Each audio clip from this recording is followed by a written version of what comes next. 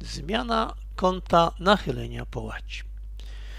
Mamy model, w którym znajduje się coś, co przypomina połać dachu, chociaż jest to układ sporczy. Proszę popatrzeć, że jest on nachylony pod kątem 20 stopni. Chciałbym, aby ta połać była nachylona pod kątem 30 stopni.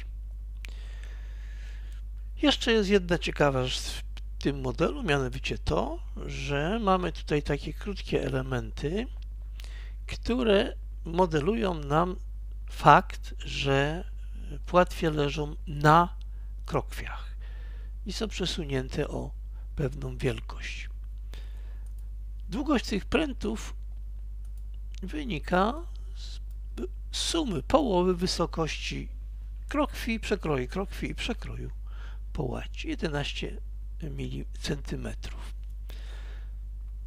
To już nam nie będzie potrzebne, możemy sobie to usunąć z ekranu. No i teraz, proszę Państwa, wybieramy węzły, obróć węzły. Mamy wybrać dwa punkty osi obrotu i węzeł płaszczyzny. No, oś obrotu poprowadzimy przez wierzchołki krótszych czy niższych słupków. Trzeci węzeł powstanie przez dodanie współrzędnej y. Chodzi o to, aby płaszczyzna odniesienia była pozioma, czyli żeby była równoległa do głównej płaszczyzny xy. Teraz mam obiera, o, wybrać węzły, które mają być obracane. No i tu jest, proszę Państwa, pewien problem, ponieważ odchyłka wyboru jest 2 cm, a ja mam 11 cm różnicy między tymi elementami, które mają być obracane, no to ja muszę najpierw zmienić odchyłkę. No więc wprowadźmy sobie 20 cm.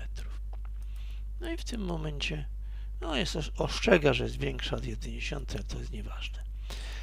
No i teraz metodą wyboru płaszczyzny mogę wskazać płaszczyznę i proszę uwagę, że program wziął zarówno węzły leżące na płatwiach, jak i na krokwiach.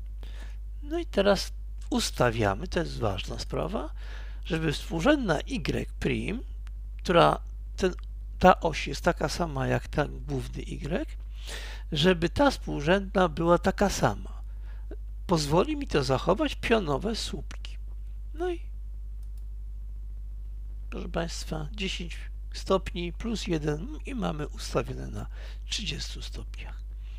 No i tak to, proszę Państwa, wygląda, jeżeli chodzi o zmianę kąta nachylenia połaci.